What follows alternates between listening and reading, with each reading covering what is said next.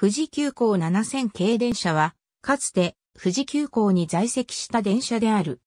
7032号7062号1969年、及び1971年に日本国有鉄道から車体長17メートル級級系国電を譲り受けたもので、制御電動車と制御車、各産両の計6両が在籍した。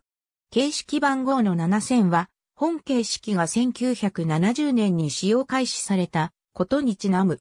1969年に譲り受けた4両は、32系に属する雲波14型0番台と50系に属する区波16系400番台である。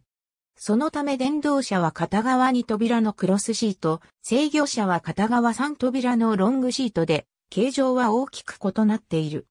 1971年の増備車は、雲波14型が沸騰したこともあり、片側3、扉ロングシートの31系に属する雲波12、計50番台と、区波16系0番台となった。これらはいずれも入線前に窓のアルミサッシ化などの更新工事が行われている。新旧番号対象は次の通り、末尾の数字が同じもの同士で編成を組んだ。